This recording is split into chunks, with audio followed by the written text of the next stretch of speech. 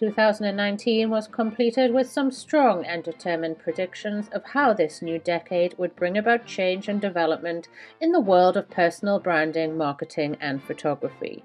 This clash of ideas and predictions were dashed as 2020 actually delivered an unprecedented turn of events that put all of these predictions upside down and inside out.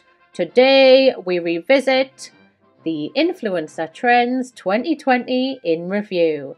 In this year, part one, we're re examining trend predictions all about aesthetics. Here are some of the predictions I made this time last year about 2020. So let's play them back and see if I was spot on or totally wrong. I made this prediction about colour schemes. A lot of people in the design space are ushering in this new era of what a cyberpunk colour scheme is. Now what this means is intense colours, neon colours, very vibrant colours, colours with a bit of a hologram quality to them. If you can remember stickers and stuff from the 80s that we all had, that kind of colourway is predicted to be massive this year.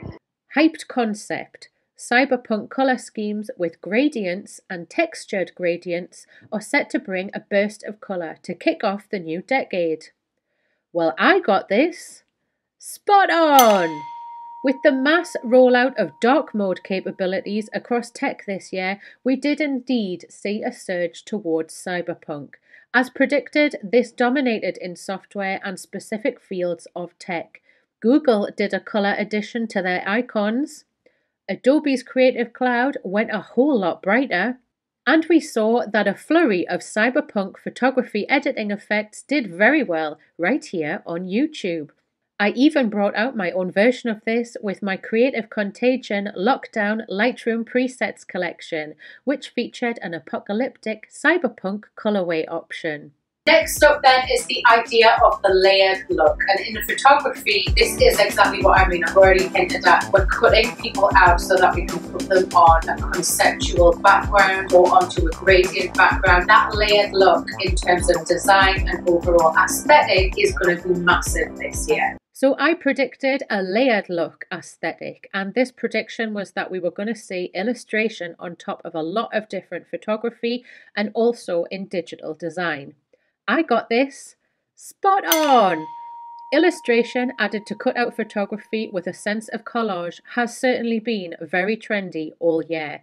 Tiger King was a smash hit Netflix documentary in the spring this year, and the cover of this show is a perfect example of a collage effect from a photographic original. Cut out product photography. So if we're not selling the person behind the business, and in fact it's the thing that the person behind the business has manufactured, you can also expect to see that cut out cut out product. In photography, I predicted that we'd see increasing client demand for continuous animation effects of their photography in GIFs and shoots directed with this end use in mind. And I got this totally wrong. The prediction of more animated cutout products was based on the advancement we've seen in user experience over the last few years. The aim was to make things more immersive. This took a backseat to the idea of connectivity being hugely important as many brands tried to serve as many customers in a safe way online during the COVID pandemic.